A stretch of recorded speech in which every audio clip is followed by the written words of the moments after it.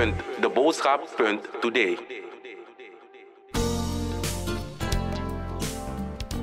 Autoriteiten alert op COVID-19, landelijke inzet bodyscanners om lichaamstemperatuur op te meten.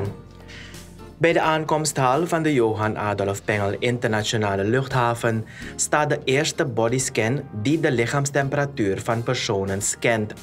De Port Health Officers zullen de binnengekomen reizigers scannen op koorts.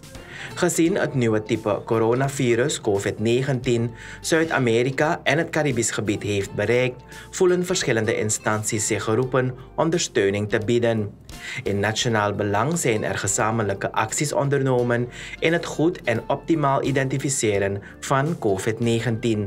Op de verschillende grensposten in Suriname zullen heel binnenkort lichaamstemperatuuropmetingsapparaten worden ingezet. De ingebruikname van de bodyscan geschiedde tijdens de persconferentie op 3 maart 2020 onder leiding van het ministerie van Volksgezondheid. Het volledig bericht kunt u lezen op www.deboodschap.today.